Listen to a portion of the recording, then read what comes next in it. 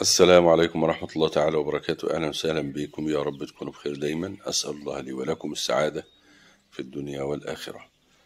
برضو معانا المنظر آه، بتاعنا النهاردة منظر من المناظر السهلة البسيطة. آه، هنخلصه في وقت قصير والنتيجة برضو ممتازة.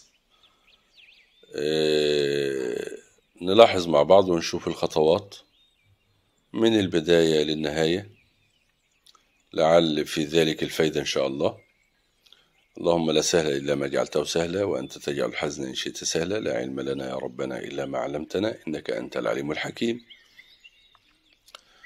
أه، حتى السحابة حددت مكانها وبيت في ساحة خضراء واسعة الساحات الخضراء الواسعة المساحات الفاضية عامة أه، فيها هدوء للنفس في الواقع. وبرضه فيها هدوء للنفس حتى في لو في لوحة زي دي زي اللي معانا دي آه، من اللوحات اللي بتدي طاقة إيجابية المساحات الفاضية آه، ومساحات الخضرة الواسعة. شفت حددنا مكان البيت أهوت مع بعض. وأدى الطريق طريق رائع لو تلاحظ واسع من من يمنا لأن نظرتنا دي أفقية. أما لما لما لف ال- ال- الطريق وبقت النظرة آه، بعدية هنلاقي الطريق أصبح ضيق جدا والكلام ده هنشوفه وإحنا بنحط ألواننا بعد ما ندي الخطوط.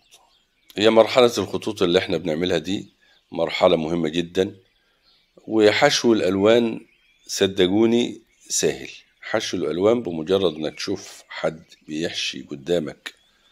مرة واتنين الموضوع سهل. لكن الموهبة الحقيقية في وضع هذه الخطوط المبدئية اللي إحنا عملناها دي. المنظر اكتمل اهو. ده المرحلة الأخطر والأهم على الإطلاق. وضع الخطوط وتحديد المساحات. بعد ما حددنا المساحات نبدأ نملى الإيه؟ المساحات اللي إحنا حددناها. وبنملى دايما بالإيه؟ بالفرشة الكبيرة مبدئيا علشان ننهي العمل. لو أنت بدأت بالفرشة الصغيرة في المساحات الكبيرة دي آه، هتاخد وقت كبير منك ودمج الألوان مش هيكون كما ينبغي وهتشعر بنوع من الإحباط يعني. إنما الفرشة الكبيرة بتملى مساحات بسرعة وزي ما تعودنا مع بعض بالفرش الصغيرة نبدأ نحط الأماكن الدقيقة والأماكن الصغيرة بالفرشة الصغيرة علشان نعرف نتحكم فيها كويس. عملنا أول كتلة سحاب كبيرة أهي. وعملنا فيها يعني آه، طبعا السحابة دي دخانة كتلة من الدخان تقريبا المحمل بالمياه يعني آه، بتاخد شكل الدخان. فبيكون فيها حتت فاتحة وحتت غامقة والفاتح دايما بيكون القريب من مصدر الضوء. وإحنا اضواءنا من على الإيه؟ آه، اضواءنا النهارده من على الشمال.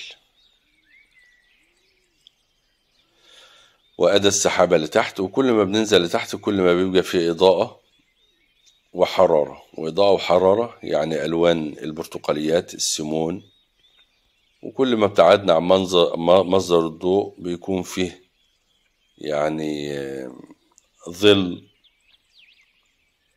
والظل يعني اللون الرصاصي يعني اللون الموف يعني اللبنيات وهكذا. حددنا المساحات المبدئية بتاعة السحب اهيت وطبعا الألوان طرية لسه علشان تفتح حتت معينة الحتت اللي باينة من السماء. فالموضوع صعب. فبنسيب ال- الجزئية دي جزئية السحاب وهنرد لها تاني. ونبدأ في جزئية تانية بالفرشة الكبيرة برضه. بندي الألوان المبدئية بالفرشة الكبيرة. آه، ملينا المساحات الخضراء بسرعة إزاي؟ اللون اللي معانا ده أصفر وأزرق وأحمر. وفتحناه شوية بالأبيض ماشي. بس بنسب ضعيفة. أكتر حاجة الأصفر شعر خف خالص من الأزرق بيقلبه أخضر وبالأحمر عشان يديك اللون اللي هو إيه آه، اللي قدامنا ده عشان ما يديلكش الأخضر اللي هو ال- الفاقع أو عايزينه الأخضر اللي هو مايل للزيت ده جميل. والطريق بتاعنا بدمج ألوان سريعة ويعني إحنا عايزينه رصاصي. ولكن كل ما رحنا اليم هناك ليم الإضاءة بياخد اللون اللي اللي فيه الحرارة في ليم البرتقاليات والأحمرات. هكذا. وفي بعض المساحات في الأرض. وفي بعض المساحات في الأرض بتاعتنا باينة ما فيهاش النجيلة بتاعت الأرضية. برضو ظهرناها مبدئيا بالفرشة الكبيرة. وادي البيت شفت البيت بيخلص بسرعة إزاي؟ طالما متخطط احشي ألوانك بسرعة فاتح وغامق غامق في الأماكن العميقة والبعيدة عن عن الضوء. واليم الضوء بنفتح شوية بيطلع معاك ال- البيت بسرعة وبضربات سريعة كده للأبواب والشبابيك هتبانها زي ما هتشوف البيت مش هياخد معانا وقت خالص. السقف في سقف البيت وفي سقف ملحق مايل لتحت زي براجولة قدام البيت كده أو على جنب البيت هنشوفها أهوت. أنا بعمل فيها حاليا. اديت الظل وباخد من فوق وأنا نازل لتحت. طبعا فوق ده في العمق بعيد عن الضوء واخد ظل هنا وهنا أهوت في الحروف اللي هي تحت التندات بتاعت البيت. هكذا. وبعض الخطوط العرضية وبعض الخطوط الطولية كأنه بيت من الخشب يعني. دي الجزئية دي خطوط رأسية والجزئية دي خطوط عرضية. تبدو من بعيد كأنها آه، خشب. وبننتهي منها عشان نحط إيه البيبان والشبابيك. ولكن نملى الجزئية اللي كانت فاضلة دي كنا نسيناها في الخلفية جزئية من السماء. وجزئية من الكتلة الخضرية ادي الكتلة الخضرية كملناها بالشكل ده أهوت. وطبعا الأخضر البعيد عاملينه باللون الفاتح لأنه بعيد ضبابي ونبدأ ندي اللسعات الضوئية البعيدة ولكن طبعا الألوان وهي طريقة كده مش هتقبل معانا مش هتفتح أبدا. هتفضل تحط أبيض وتفضل برضو مش فاتحة. ولكن بن- بنسيب ال- الجزئية تشد شوية ونشوف عنصر تاني. آه، ونرجع نحط الفاتح هيقبل معانا بعد ما الألوان تشد.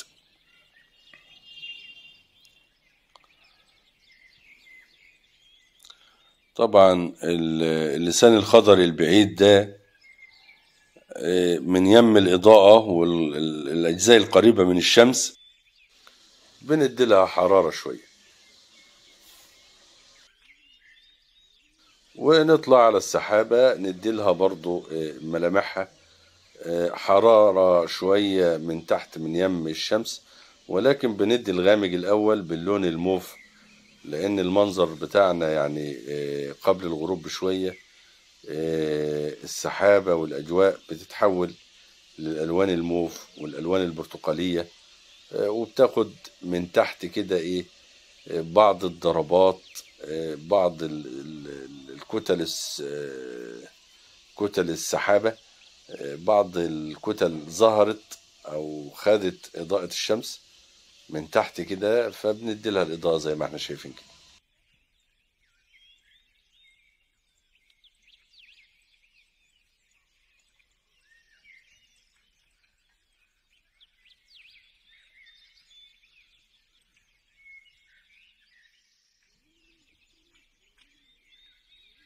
وبين السحب وبعضها في أجزاء دقيقة من السماء باينة مضيئة فبنديها بالوضع اللي إحنا شايفينه ده. هكذا.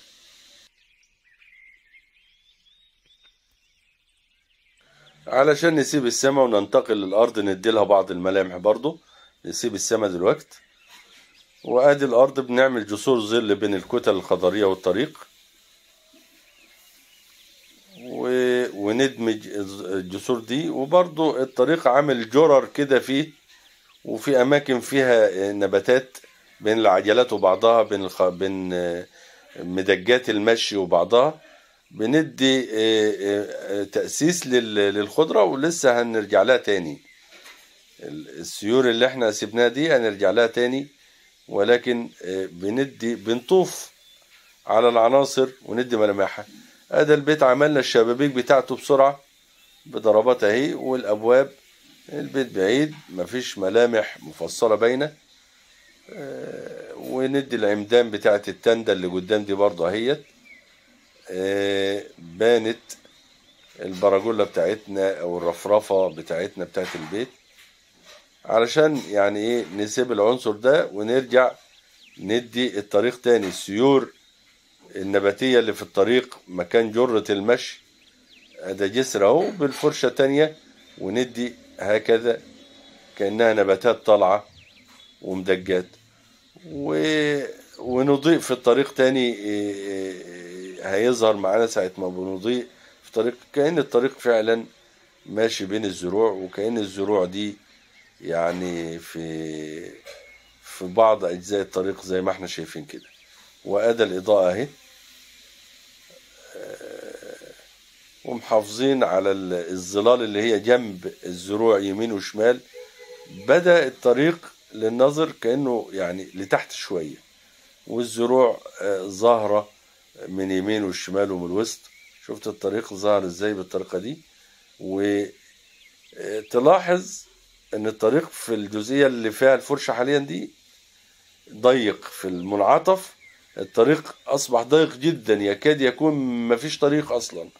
ليه؟ لأن نظرتنا للجزئية دي بعدية والنظرات وأنواعها موجود الدرس آه، نرجع له مهم جدا. آه، حافظ على الطريق وبان الطريق كأنه رايح ما بانش الطريق مجلوب منك أو مميل يمين وشمال لأن أنت محافظ على النظرات. النظرة الأفقية آه، اللي هو في الطريق من من أقرب جزئية من الطريق أنت نظرتك لها أفقية. لما انعطف الطريق أصبحت النظرة للجزئية اللي فيها الانعطاف دي نظرة بعدية فلازم يكون ضيق كده. لأن النظرة البعدية بتكون خداعة كدابة مش واقعية مش حقيقية. أما النظرة ال- الأفقية بتكون واقعية بيبان عرض الشيء بطريقة واقعية. وادي بعض الغرايز على جنب الطريق غرايز متبقية والخضرة من تحت بندي ظلال ونضرب عليها بالفاتح فبتبان الخضرة والأعشاب الناشفة والأعشاب الخضراء آه، ناشفة باللون البرتقالي والخضرة باللون الأخضر. فيمتزج ده مع ده فبيديك الواقعية اللي إحنا شايفينها دي.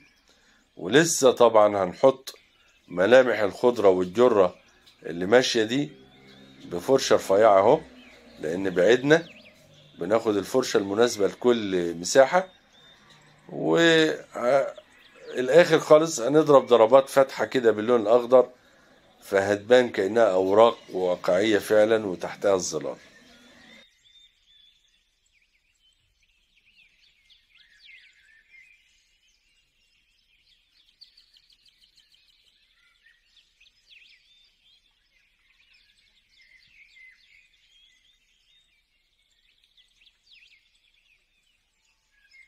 ودي بعض الشجيرات القريبة شوية عن الحزام البعيد.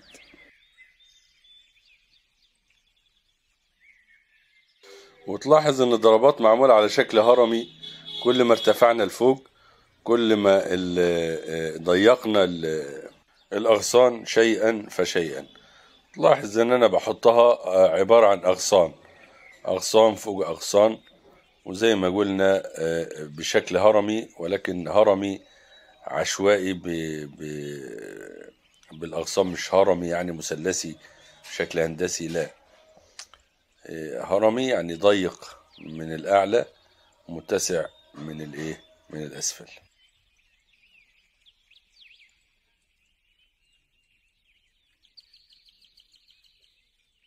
شفت؟ بنتسع أهو. كل ما بننزل آه، نتسع شوية يمين وشمال.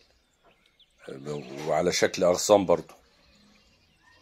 تحت شوية نتسع أكتر. هكذا.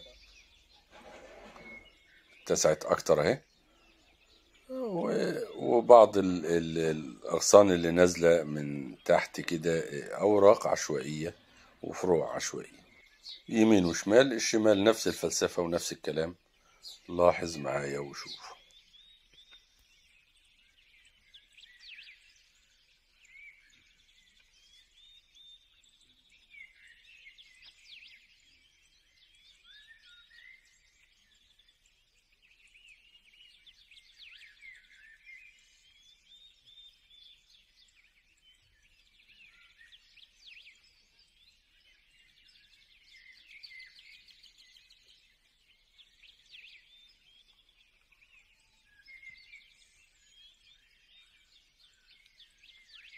وعلى كل وعلى قمة كل غصن بندي لون فاتح شوية أخضر حاضر شوية أفتح شوية علشان يبان التداخل تداخل الأغصان وده مرتفع عن ده وفي أعماق وتداخل بالضوء والظل زي ما اتفقنا. وحتى قمم النباتات الصغيرة اللي تحت دي أهي بندي برضو القمم بلون فاتح فيبان فعلا في ظل تحت أهوت وفي نباتات متباينة وهكذا. وهكذا ينتهي المنظر بتاعنا وعلى أمل اللقاء بكم ومنظر جديد ومعلومات جديدة وأجواء جديدة لكم مني أطيب المنى وأسمى الدعوات والسلام عليكم ورحمة الله تعالى وبركاته.